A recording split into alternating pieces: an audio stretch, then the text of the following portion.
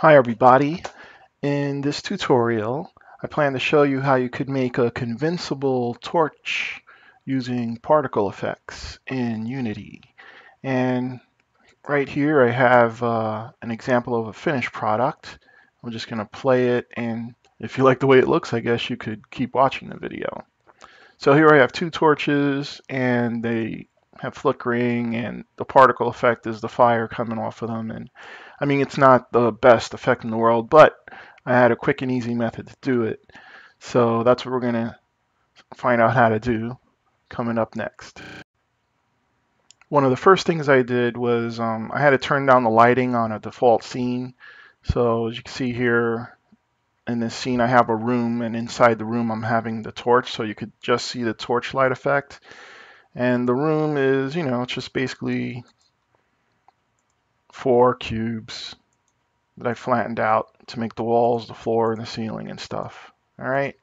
And then I just like um, zoomed up that size to like five, three, and five. That way I could go inside it like this and put some things in there. And what did I put in there? I put put a crate, just something to um, see shadows for, and then of course the torch you know, so let's see, I think it's this torch right here that's in front of me. So the torch is just basically, I made it up of a stick, which is a cylinder, and what else? A stick, one point light, and then a particle system effect. So the particle system effect, um, the way it's lighting up is because as these little um, torch sprites are like coming up against the light, you'll see the light. Um, so the point light, it's just something that I reduced the range of. I changed the color to be like the color of fire. And the part where the light is flickering is just done by, to the torch itself, I have a script.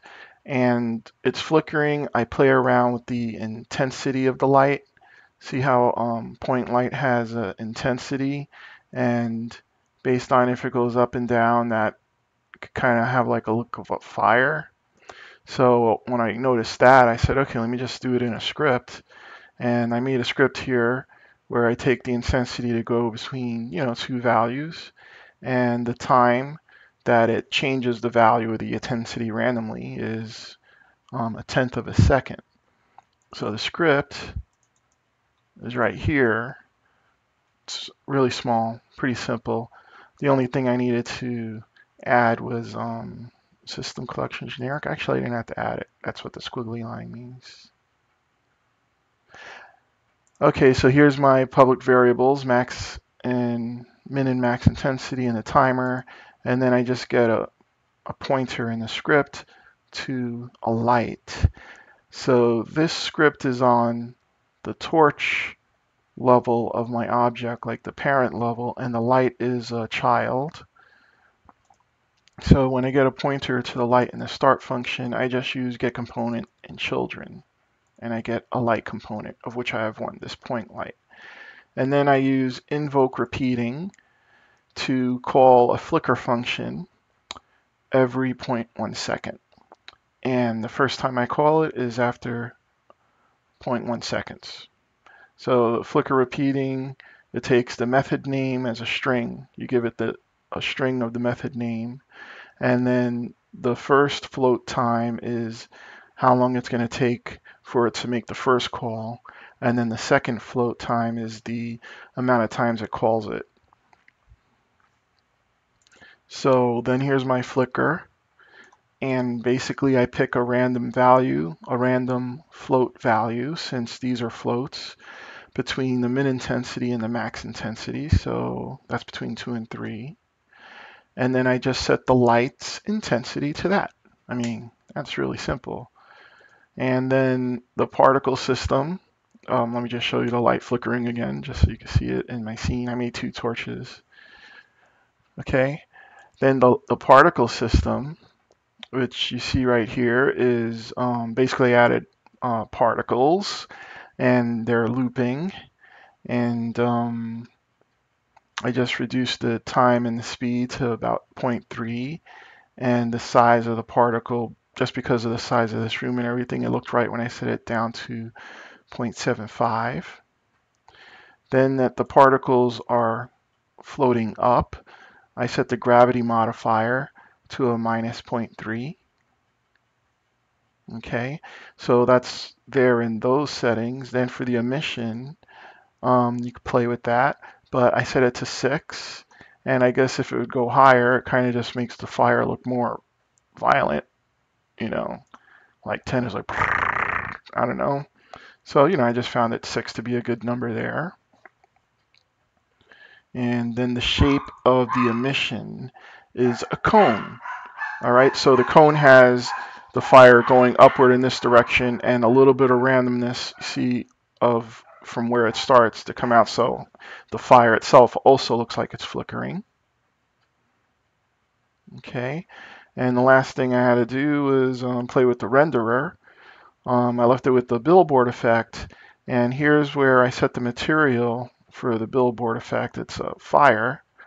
And what I did for a fire was I basically just went on Google Chrome or, you know, I went to the internet and I typed a search for fire texture, transparent. And then I just come up with all these. And I think this one right here was the one I picked. And just got to note transparent.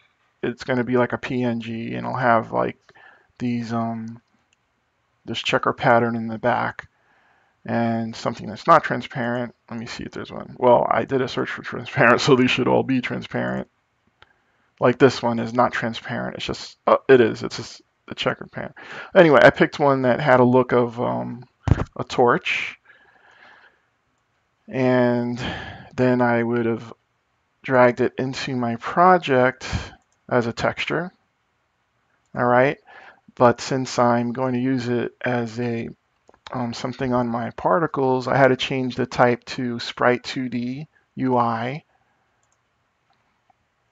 And then I just would press apply, and then it would show up like this. And then when I go back to my particle system, um, I think I still needed it to be um, a material. It wouldn't just take a sprite. So here I have my materials folder. I just made a material out of the fire. I said create new material. And then for the albedo, I picked the um, that fire sprite and I put it there. And the only other thing is I had to have just the fire show and not the transparent part. So what I do is I pick rendering mode fade. By default, it's opaque and I thought I would pick transparent, but it still kind of had this, you see, like a shadow of a thing there. And when I picked fade, that's the one I want. See, it's totally gone. And that's how I got the fire effect.